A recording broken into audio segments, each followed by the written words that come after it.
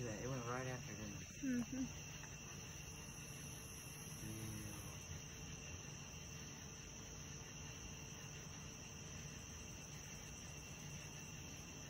Does it have an egg sac? Oh, it's gonna wrap it up. huh? Mm-hmm.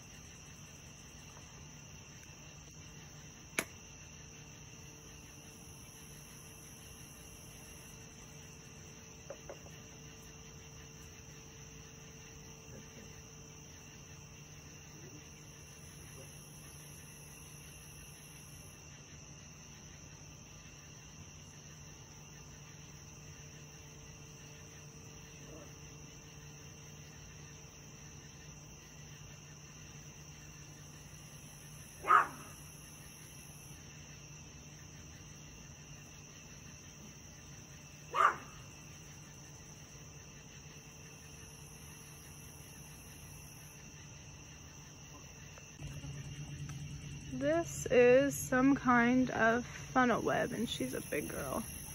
I fed her the other day, but oh, there's two.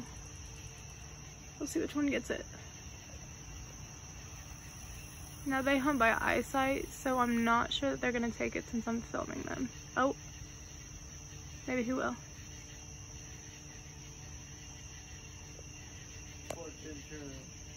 Oh, yep, he took it. Yay.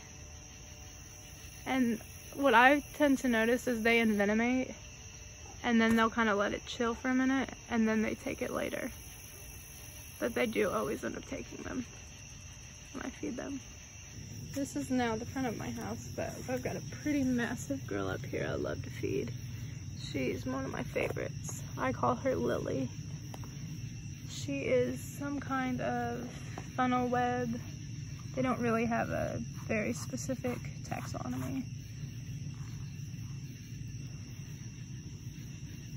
She likes to build a curtain though, so it's kind of hard to get it to her. But she's always very grateful and likes to wave like that. Lily girl. And she likes to say hi for a minute before she drags him back. She's a very grateful girl.